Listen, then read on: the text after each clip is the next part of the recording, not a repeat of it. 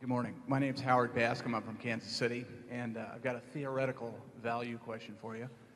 Uh, if you uh, were to buy a business and you bought it at its intrinsic value, what's the minimum after-tax free cash flow yield you'd need to get?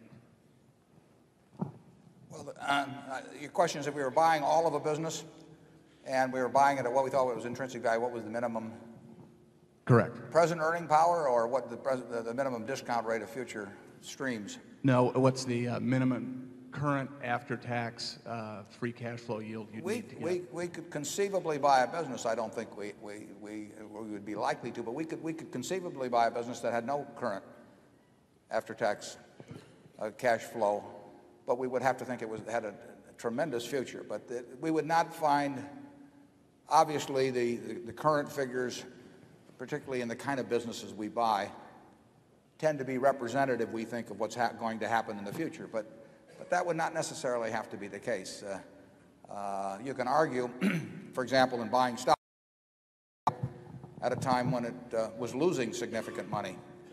Um, uh, we didn't expect it to continue to lose significant money, but, but if, we think, if we think the present value of the future earning power is attractive enough compared to the purchase price, we would not, we would not be, we would not be uh, overwhelmed by what the first year's figure would be. Um, Charlie, you want to add to that?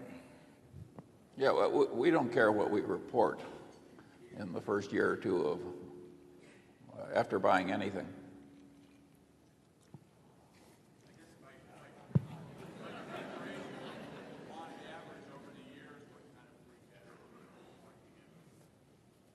Well, I would say that, that um, in a world of 7% long-term bond rates, that uh, we would certainly want to think we were discounting future after-tax streams of cash at, at, at least a 10% rate.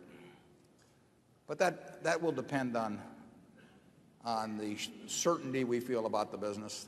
The more certain that we feel about a business, uh, the closer we're willing to play it we have to feel pretty certain about any business before we're even interested at all. But there, there's still degrees of, of certainty. And, and uh, uh, if we thought we were getting a, a stream of, of cash over the next 30 years that we felt extremely certain about, we would, we would, we would use a discount rate that would be somewhat, what, somewhat less than if, if it was one where we thought we might get some surprises in five or 10 years. Possibility existed. Charlie? Nothing to add. Okay.